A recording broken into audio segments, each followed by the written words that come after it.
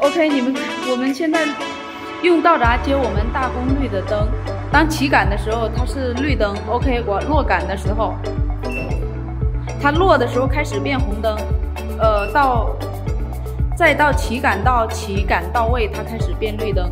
这是二百二十伏直接接到闸灯控接口的一个工作状态。